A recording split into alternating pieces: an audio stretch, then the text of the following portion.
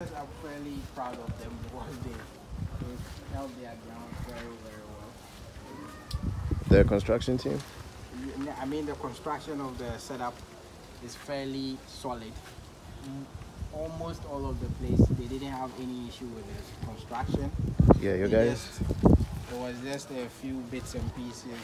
your guys did a good job with the yes, construction. the construction is solid. They were excellent, weren't they?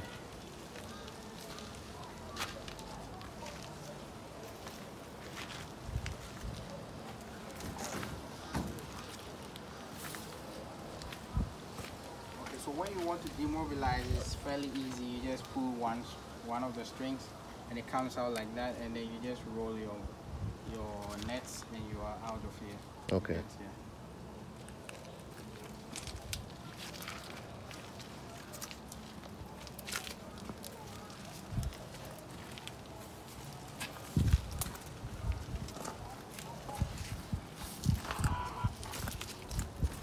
Then you have the red head housefly, Mm-hmm.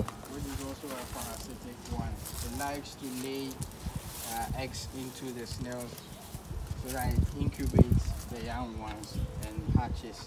Because I noticed some of the dead ones I would find, you would see a lot little. of maggots, yeah, yes. larvae. That's the larvae of the head, the redhead uh, housefly. They are the number one. One of uh, they're on top of the predator list. Okay. But uh, that's uh, spiders are good for the system. Really? Yeah, spiders are good. Okay. So for the setup, it's solid. So good with the setup.